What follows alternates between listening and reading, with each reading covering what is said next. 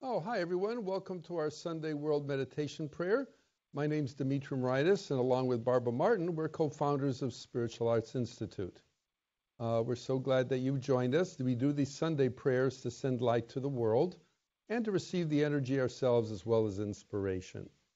Um, we're going to open with a meditation, so if you're joining us for the first time, just relax, be in a comfortable chair like this, feet are flat on the floor Close your eyes, take a deep breath, and envision about two feet above your head this golden white sun.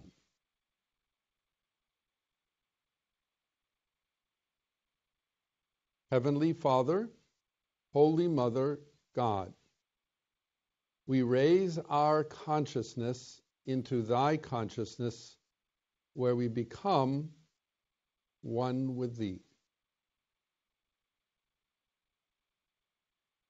We ask to receive that which we need and that which we need to know now.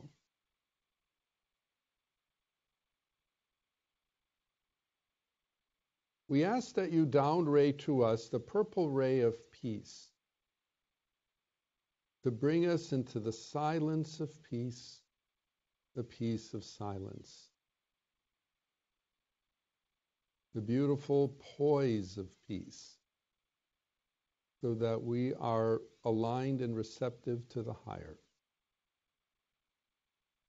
Thank you as this energy blesses the higher self point, that golden sun above your head. And then to down ray into the auric field, bringing forth that beautiful flow of tranquility. Quieting the mind, quieting the body, quieting the soul. For in silence, the soul is most ready to hear. Thank you for blessing the mental area, the mental chakra. Bring in a quietness of spirit and going even into the brain cells and all the activities of the brain, responding to the impulses of mind.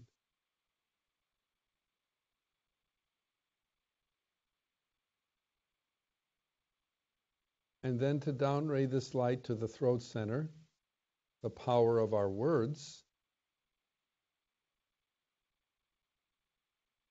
bringing peace and tranquility to the very tone of our speech.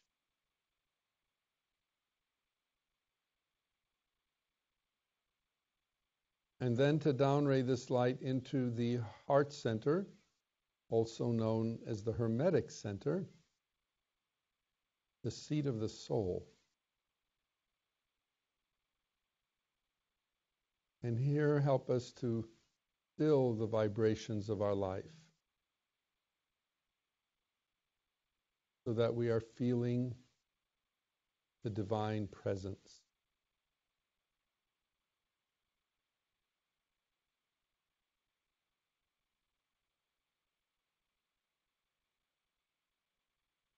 And thank you as this energy down rays to our emotional center, the chakra point by our navel,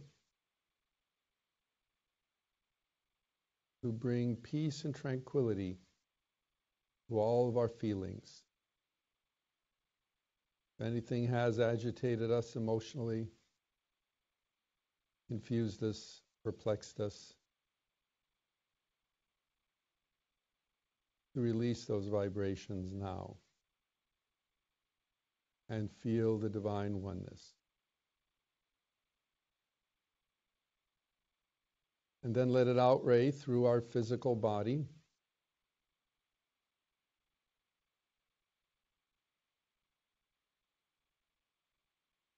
Bringing peace to all the organs, the functions, the systems of the body even down to the cellular level and how the cells interact with each other.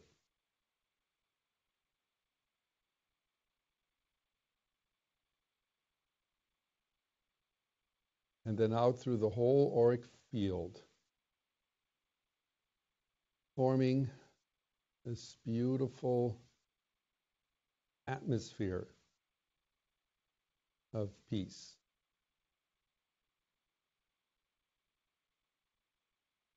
Thank you for all that you do for us. We thank thee that this is so.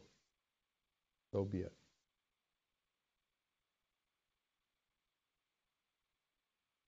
Okay, wonderful. You always let that light sort of equalize. When you finish a meditation, it's good sometimes just to stay in the silence a little bit.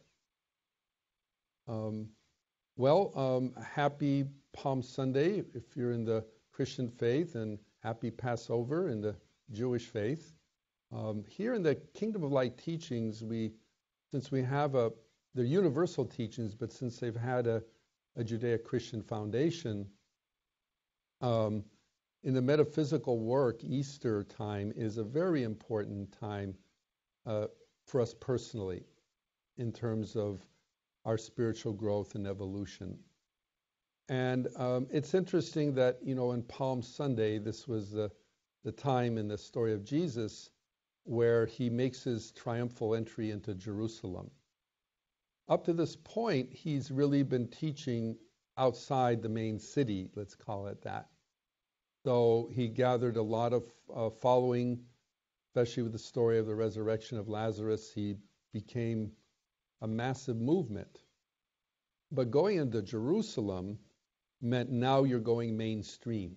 Now you're going to network into civil, you know, more directly into the civilization energy. So that was a major move to go in there. And how interesting that his initial entry was triumphant. Uh, he was honored, he was revered, he was accepted. And um, he didn't come in on a valiant stallion. Uh, he came in, as they say, riding on a donkey.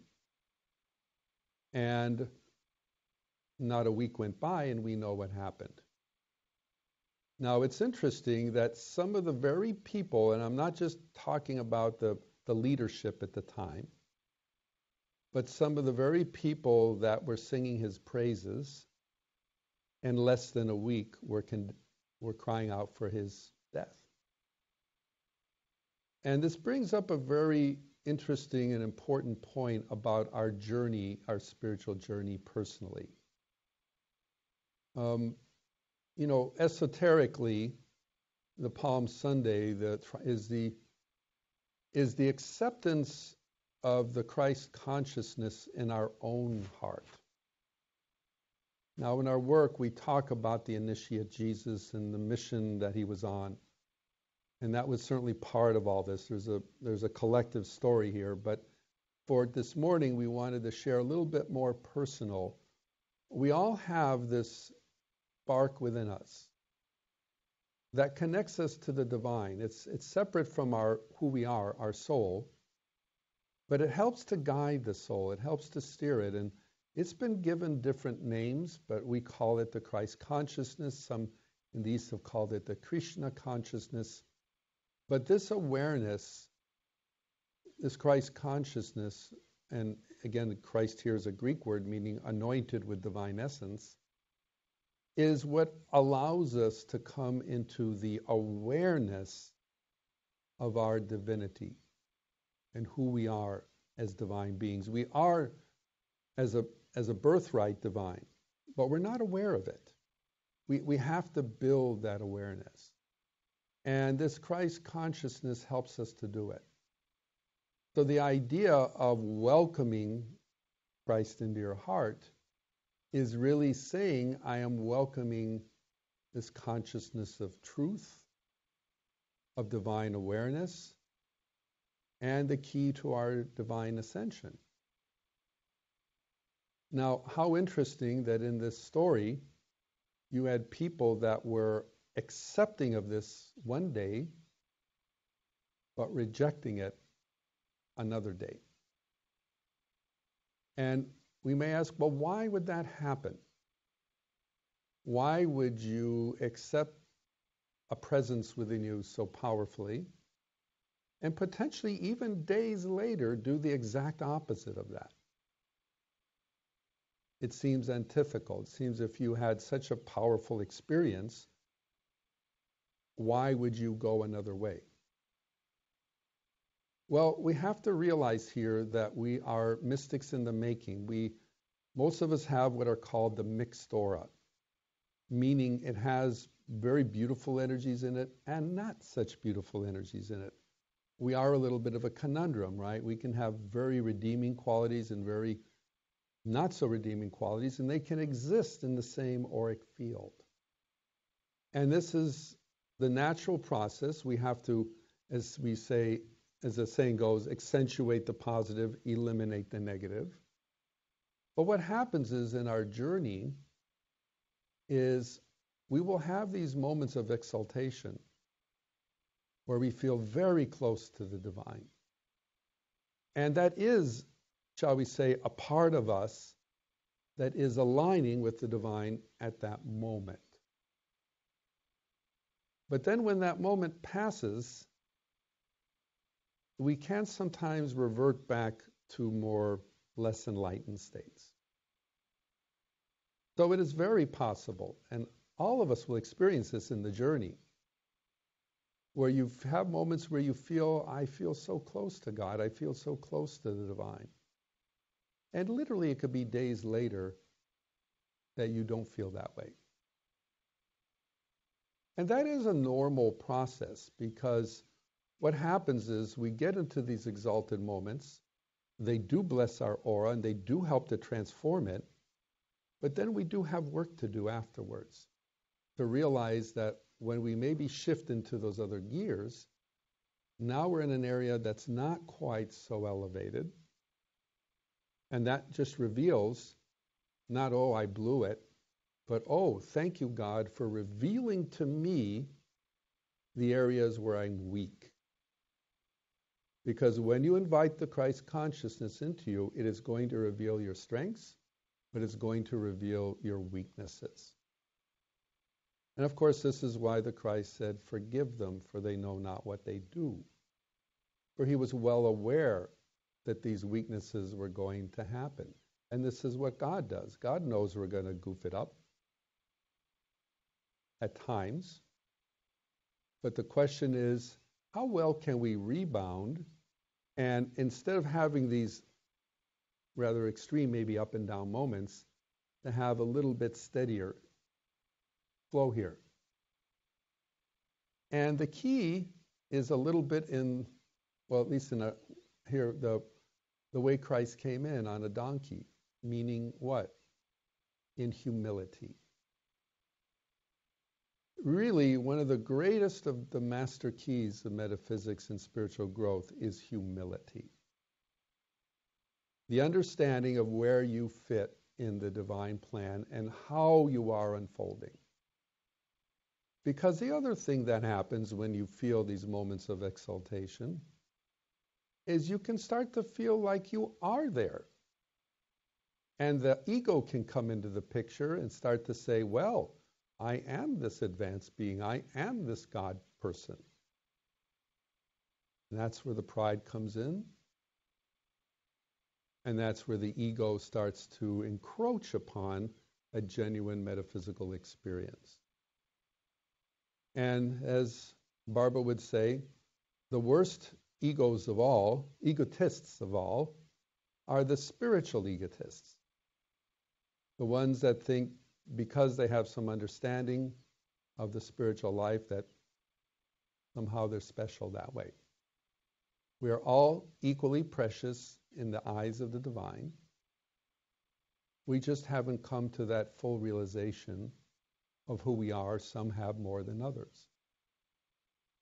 So the act of humility is what's going to keep you steady on the path especially in those moments where your personality ego will unquestionably try to trip you up. Now, the ray to work with, as we're going to bring in right now, is the deep rose pink. For this really helps us to understand our goal is to simply be closer to God. We do not need to glorify ourselves as we glorify the divine, it will flow through us. And that will be our salvation. We don't need to worry about where we stand in the great order of things. Yes, one person may be the architect, the other may be the stone builder. But they're both equally important. And the stone builder says, No, I have to be the architect. Then there's going to be no building. And the stone builder may not be equipped to be the architect at that moment. And that's okay. As long as that stone builder does her his part in what needs to be done, you are fulfilling your part in the grand plan. So don't worry so much about credit or also what others think of you. Sometimes in this metaphysical work, and some of you may experience this already, people may say, What the heck are you doing? Why are you involved with this? It's, it's almost like you're not in that advantageous socially position as maybe you were because you're following another path. And if you're concerned about what others think or feel about you, then already you're on the losing side. You're on the victimizing side. Be true to you, love those around you, and everything else will simply fall into place. So, as we come into this Easter week, and by the way, next uh, Sunday, we won't have this World Meditation Prayer. We hope that you will join us for our Easter Fellowship. It's going to be a little earlier, uh, 9 o'clock Pacific time. But this week is really a good time to reevaluate your dedication to your spiritual path. And what are you willing to sacrifice in that path? What are you willing to give up at this point in your life? Don't answer that question too quickly. Give yourself a moment to really feel that and really say, Where am I in this? And you may notice sometimes I really am ready. I'd sacrifice this in a minute. This, it might be a little harder right now. And that honesty is the beginning of this humility that we're speaking of right now, to see where you really are in this process, not where you would like to be or where you think you are. Now, the love brings in, of course, the love energy, but without love, well, we know when we are truly in love, we really don't care so much about ourselves. We don't care what we think. We care about the thing we love. And that seems to be the top priority. So as we bring in this loving energy, it does get help us release this feeling of pride, of feeling superior to other people, or that we're at some special advantage or privilege. All those energies we need to let go of as we walk the path. And ironically, the further along you go, the further you climb up the ladder, the more important humility becomes because you are climbing up the ladder. But that's also the time when the ego will try to assert itself more. And sometimes there's a bit of a battle. And as long as you keep your priorities in, intact, you'll conquer those battles, you'll win those battles. Might take a little time, might take a little effort. So we'll bring this down for ourselves. And when we pray for the world, last week we, we prayed, we worked with this beautiful energy of spiritual growth to help those awaken to their growth and pursue it. Here we'll be asking for the world to really stay with it, to really think long term in your spiritual growth. This is not prove it to me and I'll believe it kind of a thing. Once it really is in our heart, it's just part of us, it's part of our life. And to, to really see it in, as the 91st Psalm say, with long life will I satisfy God and show my salvation. Okay, we'll bring in this beautiful pink, and we are particularly asking for the quality of humility.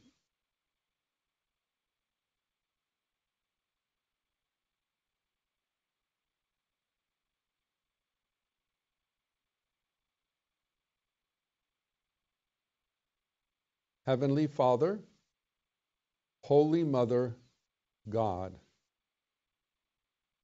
we enter into thy infinite circle of living light, love, and peace. We ask now that you raise our consciousness into thy consciousness, where we become one with thee. We ask to receive that which we need and that which we need to know now. We ask that you downray to each of our higher self points, those golden suns above our head, the magnificent, enrapturing, deep rose pink ray of spiritual love, the love of God. And with this love, we are asking to bring forth and build in our own minds and hearts the quality of humility. To truly understand our place in the cosmos, in the evolutionary process. To relax and enjoy where we are right now. Not where we were yesterday, not where we might be tomorrow, where we are today. To rejoice in this moment, to accept it, to embrace it, and to know that we are indispensable to the divine process. And from where we are right this moment, we can serve. If we are looking over our shoulder as what has been, always trying to look ahead to what might be, we miss God. We miss the present. Certainly, we must plan for things but help us to live here and now. For God is speaking to us today.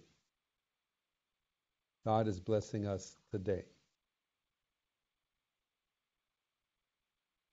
And not only us, but everyone around us. Let us enjoy the people in our lives today, the opportunities in our life today and the challenges in our life, the perplexities, the unanswered questions. We accept all these things. Thank you now as this energy down raised to our mental center. And on this Palm Sunday, we do acknowledge our own Christ consciousness that dwells within each of us to varying degrees of strength and awareness. And help us to acknowledge our Christ consciousness, to accept it, and to recognize that it will only bring forth truth. And that we are ready to hear the truth to see the truth about ourselves and in those around us.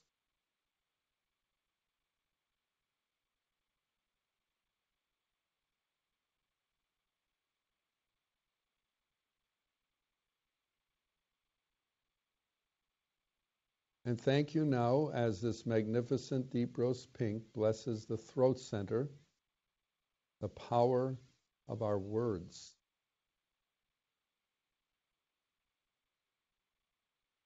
And here, if we have unintentionally or intentionally spoken, spoken self aggrandizing words, glorifying the self, however cleverly we may have done it, we release those vibrations to speak in loving tones of true humility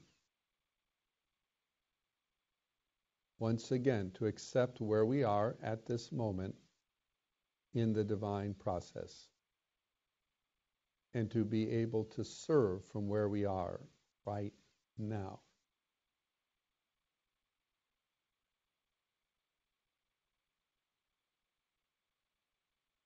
And thank you as this deep rose pink blesses our heart center, the Hermetic Center. And let this love reach out into our life. And the activities of our life right now. If we are in leadership positions in any part of our life, or if we are working under leaders in any part of our life, let there be love. God is the employer, God is the employee. Let us serve in whatever position you have put us in, dear Father Mother God, with joy, with faith, and with deep humility. And whatever we have accomplished in this world already, let us acknowledge that without you, nothing would have been done. The God within us does the works. Let us release any false pride, again, self aggrandizement, or feeling of superiority.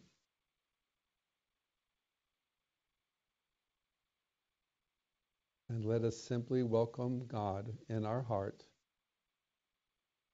with a welcome heart.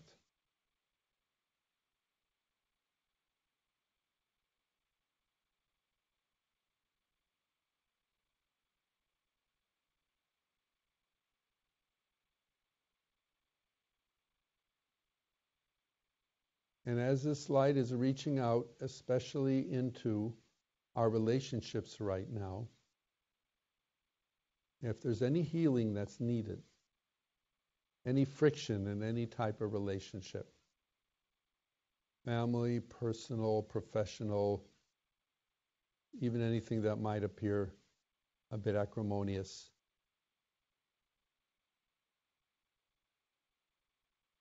Let love be there. You make the first move.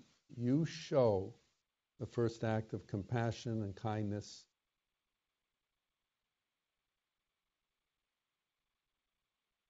Be strong in your loving expression. Be forgiving and be kind.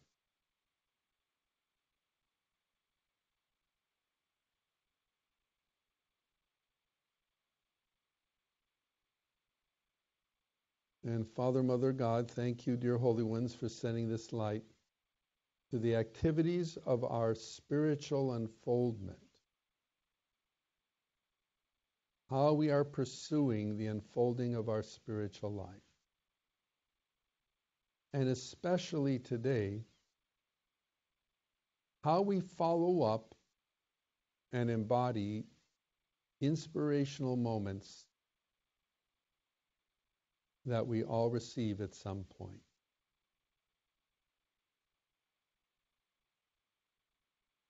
So that our expression of divine love is constant.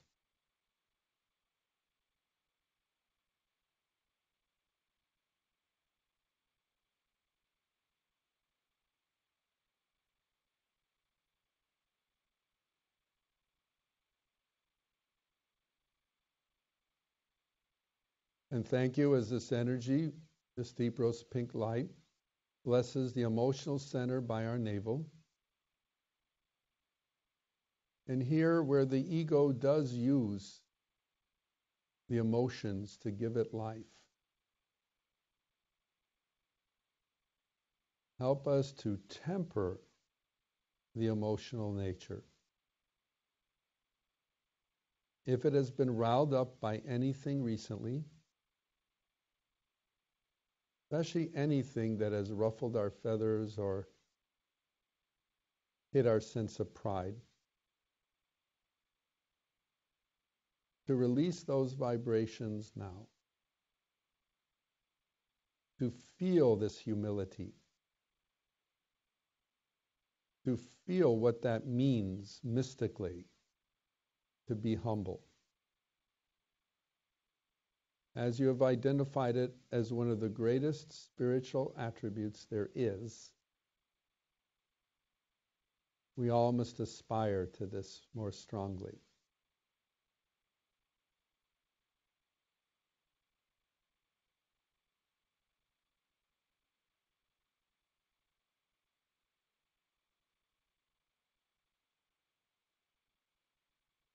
And thank you as this light outrays through the physical body, bathing the body in love. If we've been at all hard on ourselves physically, pushing ourselves, let there be a gentleness now.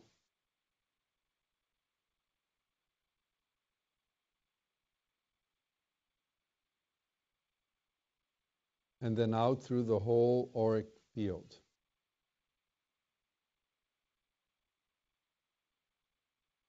So that truly we are one body in thy body of divine love.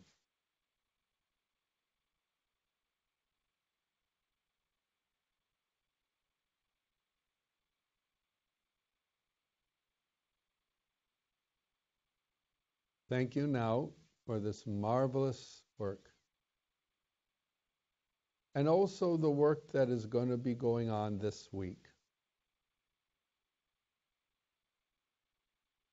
To bless all souls on their spiritual journey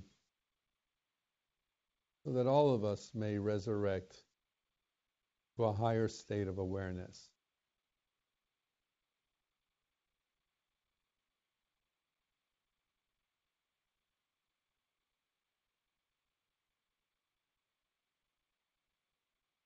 And now, as a united group from our higher self point, we ask that you send the deep rose pink ray to the world.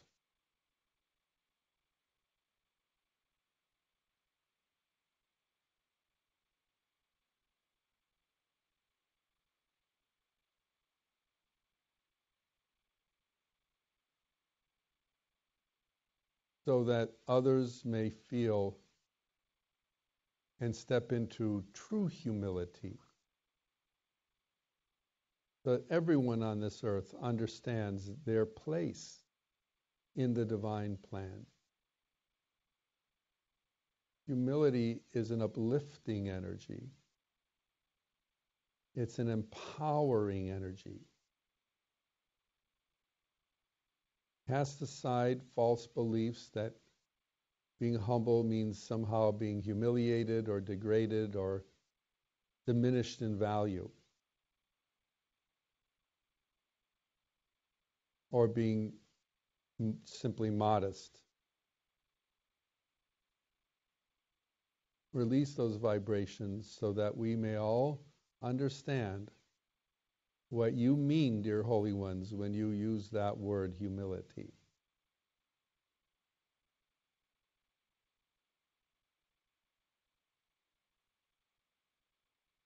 And where the egos are self aggrandizing to help soothe those vibrations. For once we play our part, all of us as a civilization, truly the new day promised will be here. But we have to play our part. And everyone has his own, her own unique role to play. Do not wish you were in another person's shoes.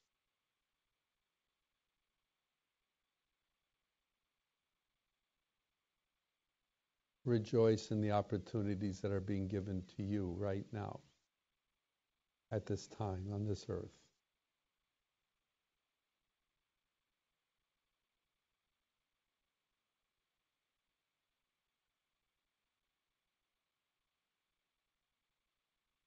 And thank you as the light is also going to those who are feeling despondent right now, who do not have enough joy in their hearts.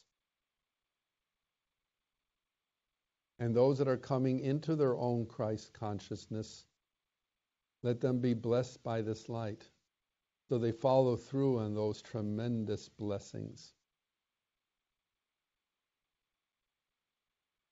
And for all the work you're doing for the earth in this coming week to uplift it, we are profoundly grateful and we remain open and receptive to the holy vibrations.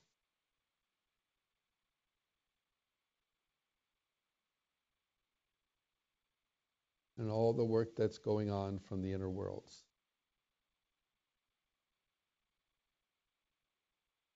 Thank you always as the light of healing touches all who need it right now. Let the light go to our family, our friends, our loved ones, all who are near and dear. Until we meet again, we thank thee that this is so, so be it.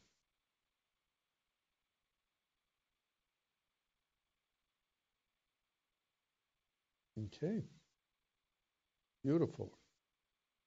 Well, we, we hope to see you next week at our Metaphysical Easter uh, Fellowship. On behalf of Barbara and myself, have a great week.